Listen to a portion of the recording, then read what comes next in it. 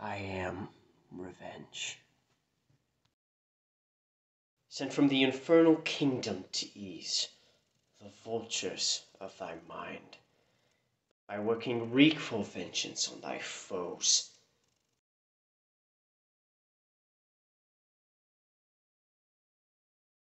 There's not a hollow cave or lurking place, No vast obscurity or secret Where bloody murder can couch for fear; But I will find them, and in their ears Tell them my dreadful name, Revenge, Which makes the foul offender quake.